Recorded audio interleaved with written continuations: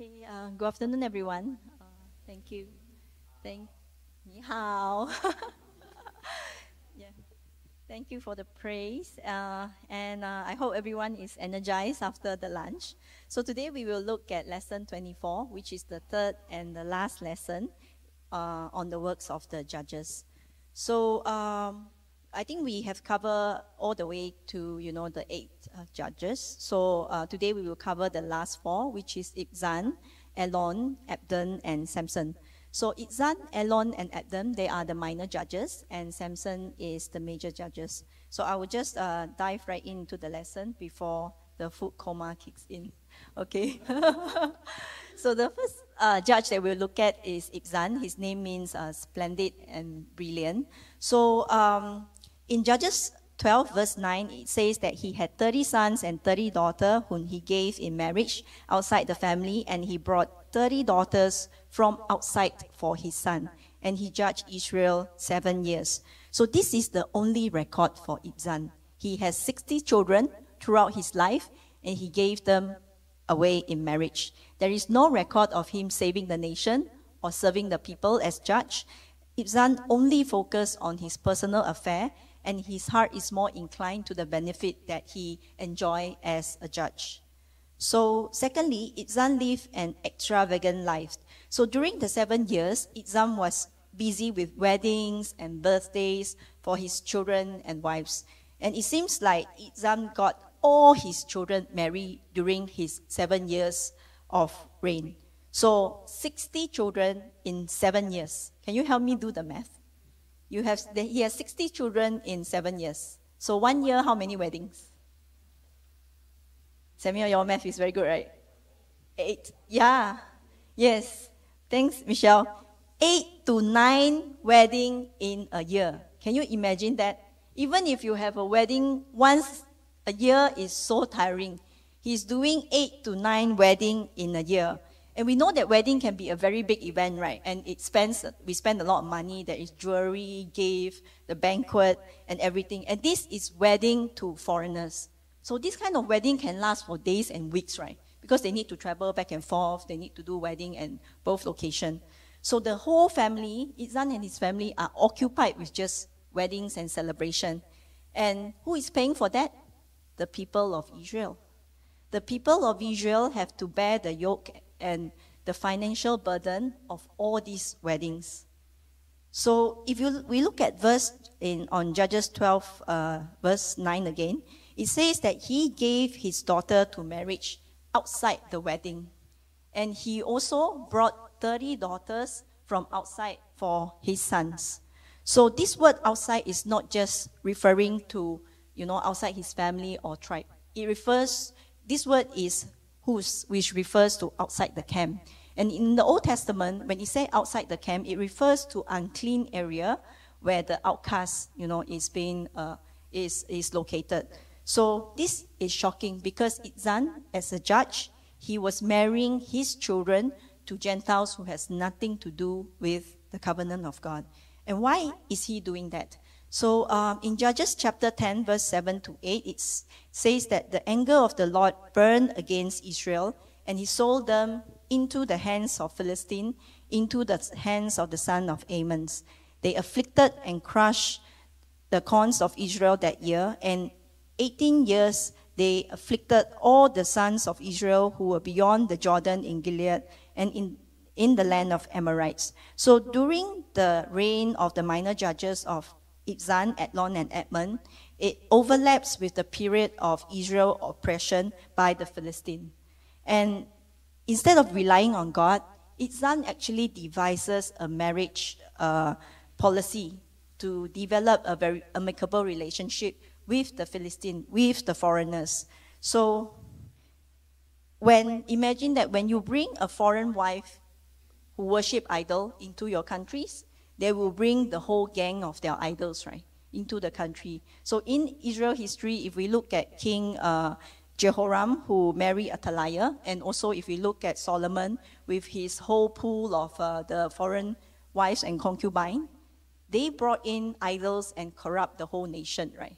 So even though this seems to be a quiet time for Israel, but inwardly it is a time of chaos and adultery, uh, idolatry for them. Because uh, during this time, he has allowed all these idols to come into Israel. Okay, so the second judge uh, that we look at is Eglon, which means uh, oak. His name also means man of strength or uh, strong man. So uh, during the time, so Eglon, he was from uh, the tribe of Ephraim. So I think last week uh, you studied about a judge named Jephthah. So Jeph, Jephthah, when he had the victory with the Amorites, the tribe of Ephraim, they were jealous, right? So they war with Jephthah. And during that war, 42,000 men died during that war with Jephthah.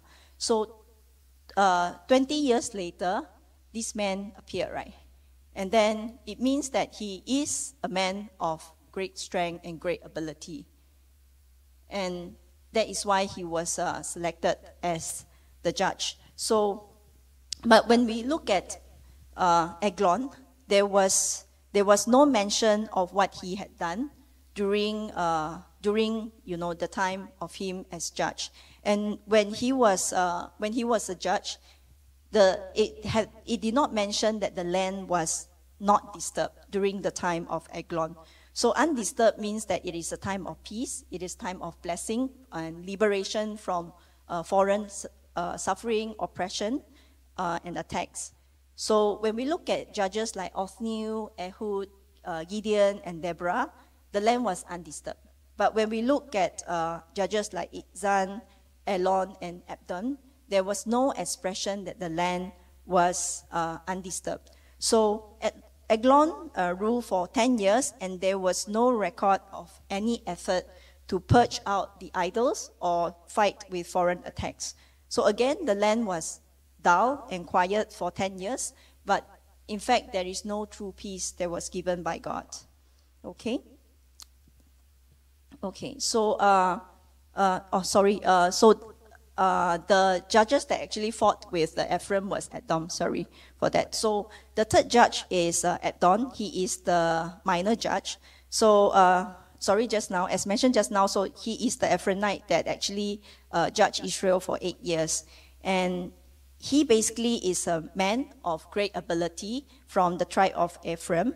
So, uh, so based on what we see here as well, it has no records of his deeds for the nation. And in Judges chapter 12, verse 14, it says that he has uh, 40 sons and 30 grandsons who rode on 70 donkeys. So it means that he has a lot, a lot of wife to produce 40 uh, sons. And this shows that um, during the time of Adon, it was peaceful but there was also spiritual corruption in Israel. So when we look at um, this, uh, this time when uh, Abdon became judge, it was also the time of the oppression of Philistine.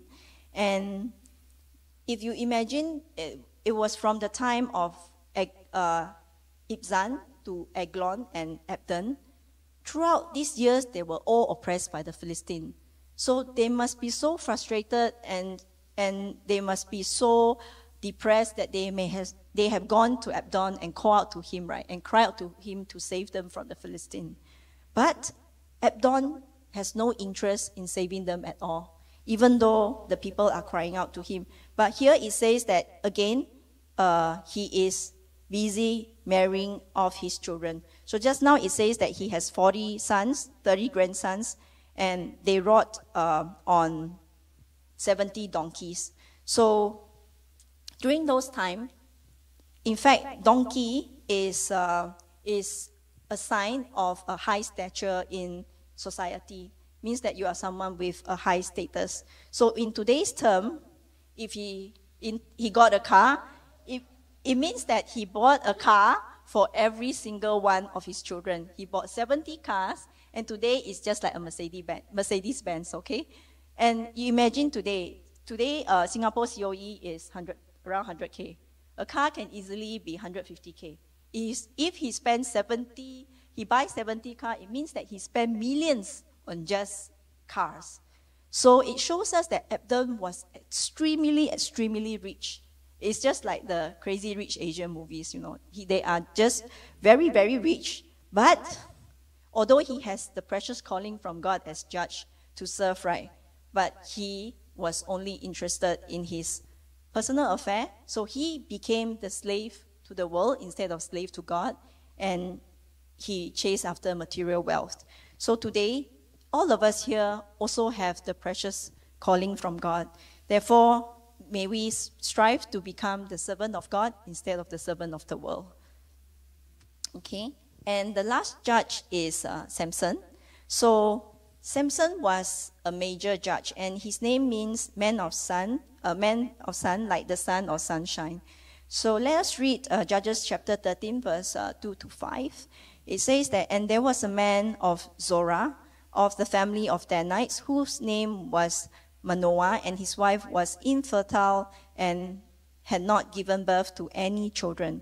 Then the angel of the Lord appeared to the woman and said to her, Behold, now you are infertile and have not given birth, but you will conceive and give birth to a son. And now be careful not to drink wine or strong drink, nor eat anything unclean for behold, you will conceive and give birth to a son, and no razor shall come upon his head, for the boy shall be a Nazarite from God to God from the womb, and he will begin to save Israel from the hands of Philistine. So Manoah's wife cannot bear children, and Samson was born after the annunciation from the angel.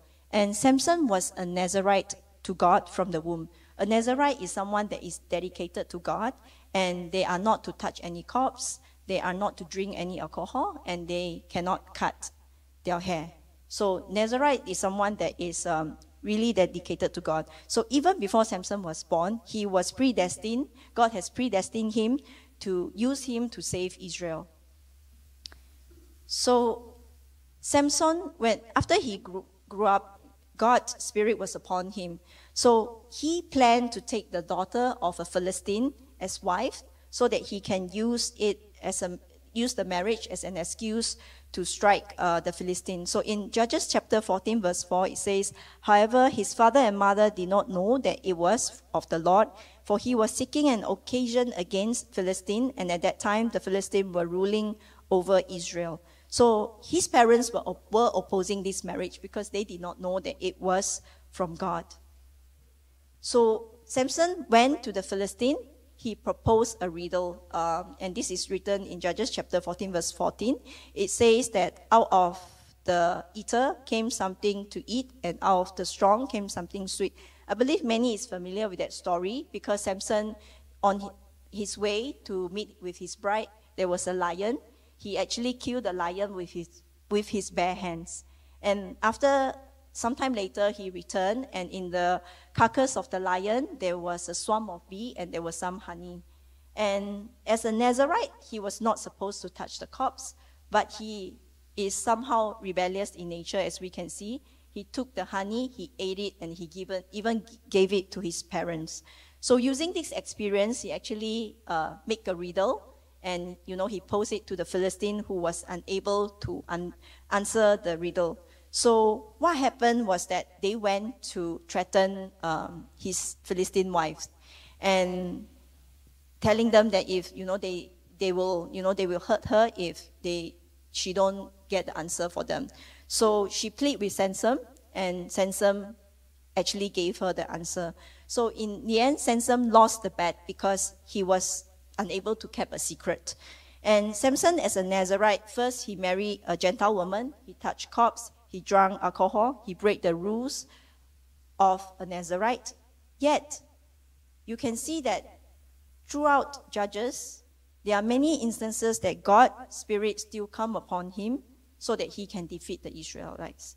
So therefore, this shows us that, in fact, God advances his work of salvation despite of our human shortcomings and despite of our sins. God still uses for, by his grace, for our salvation. So our salvation is not by human power, but it is truly by the grace of God. Okay? And and when we read through Judges 14 and 15, we can see how Samson continued to challenge and he continued to provoke the Philistine.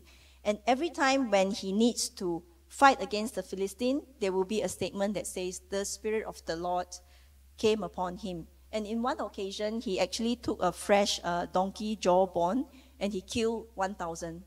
Like, this is quite amazing, right? How can you kill 1,000 people with a jawbone? But he did that because the Spirit of the Lord was upon him. And after that very intense battle, Samson was very, very exhausted.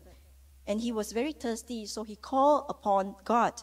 And in, in uh, Judges chapter 15, verse 18 to 19, it says that then he became very thirsty, and he called to the Lord and said, You have handed this great victory over to your servant. Now, am I to die of thirst and fall into the hands of the uncircumcised? But God split the hollow land that is in Lehi so that the water came out of it. When he drank, his strength returned and revived. Therefore, he called it En Hakkore, which is Lehi to this day. So, God responded to him by performing a miracle of splitting the ground so that the water came out of it, and his strength returned and he revived after drinking the water. So he called the place En Hakkore, which means spring of the one calling, where he drank this living water from God. Because if God has not performed this miracle, Samson would have died in the hands of Philistine. So this is also God, through this story, he is reminding us that when we feel that our body and our mind has reached its limit, that when we are tested to a point where we feel hopeless, and there are times when we feel like we are dying inside, he is telling us that we can rely on him. And when we pray to him earnestly, he will definitely answer us and give us new strength, and He will restore us. And in fact, we hear this many, many, many times, right? Like, you know, every Bible study, we hear that God asks us to pray to Him earnestly and He will come to us. But to be honest, when we are in deep, deep trouble, actually it is more convenient for us to just get frustrated and just to grumble and take things into our hand, right? Many times when things happen, for example, for me, I will forget. The first thing I need to do is pray. But I will get frustrated. I will try to solve the problem on my own even though I heard this so many times through the Bible study. So I think this is also a good reminder for all of us, right? That in times of trouble, let us, the first thing that we need to do is really to pray. As God has told us in Philippians chapter 4, verse uh, 6 to 7, He says, Do not be anxious about anything, but in every situation, by prayer and by petition, with thanksgiving, present your request to God and the peace of God which transcends all understanding will guard your hearts, your minds in Christ Jesus. So even when life is tough and the people around you is making it even tougher, please remember that our Father, who is the creator of heaven and earth, is by our side. And when we pray earnestly for deliverance, for the, our situation and pray for those who afflicted for us, afflicted us as well. May we re- experience this uh, li- living water just like Samson. Okay, and okay, so um, and the story continues. I think all of us heard about Delilah, right? The very famous story of Samson and Delilah. So Samson fall in love with this lady called Delilah, and he was like the son to the Israelites, right, during the 40 years of the Philistine oppression because he came and, you know, he saved them out of this very difficult time. However, he made a very ultimate mistake of revealing his secret, the secret behind his power. Basically, he told them, he told the secret, you know, that if he, you know, lost his hair, then he will lose his power. So he fell into a miserable, miserable state because he failed to keep the secret that God has told him to keep.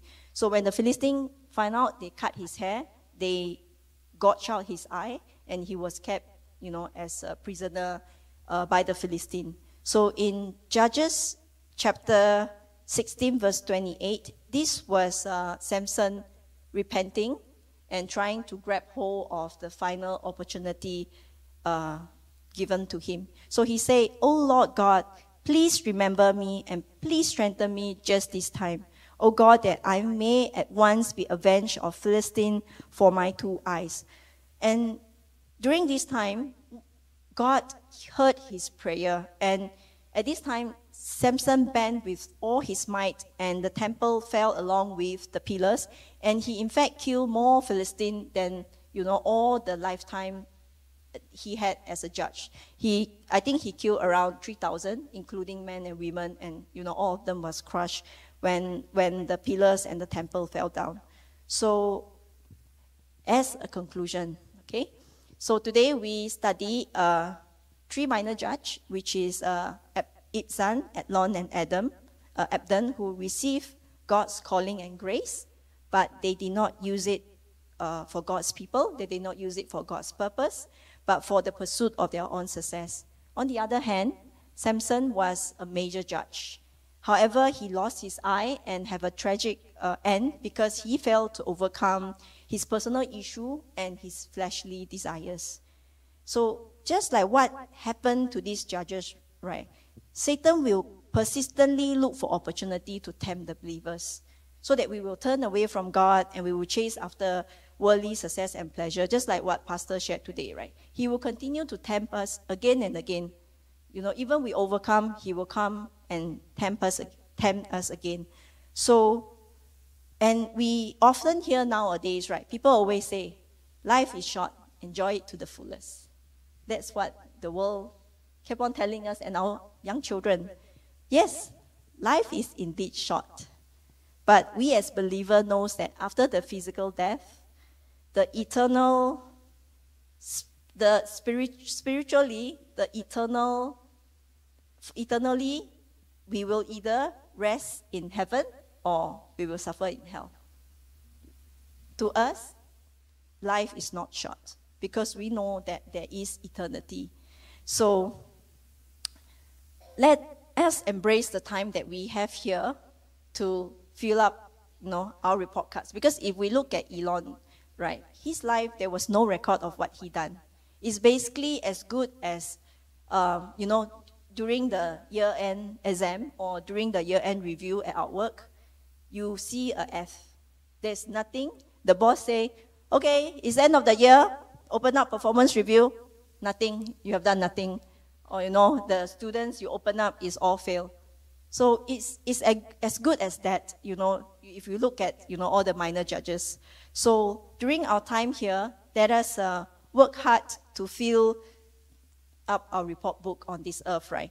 So if you if we look around right you, you look around many of our zion church members hold many roles and many responsibility right? All of you if you look you know they are, you know, AV, Usher, and all this, you know, Hora, and all this responsibility that every single one of you is holding on top of your commitment to your family, to your school, and, you know, at work. So there are times that we are just so overwhelmed that we feel like exhausted and even frustrated, right, at time with the people and the situation around us. But uh, please hang in there, brothers and sisters, because I believe that Zion Church member report cards are filled with pages and pages of good work in the end. And uh, at times when we are tempted and forgotten the callings and the duty that is entrusted to us, we should seize the opportunity to repent earnestly, just like Samson. Because when we have a contrite spirit and we repent, like Samson, we can accomplish great works for God and just like Samson, we may be able to um, accomplish a greater work than any of the work that we have done before when we repent and we seek God earnestly.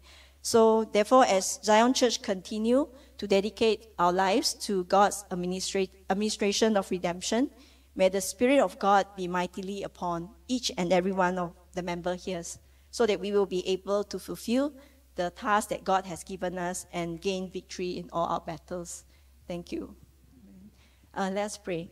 Dearest Heavenly Father, we give thanks to you, Father, for the lessons and the word that you have given us through the life of the judges, Father.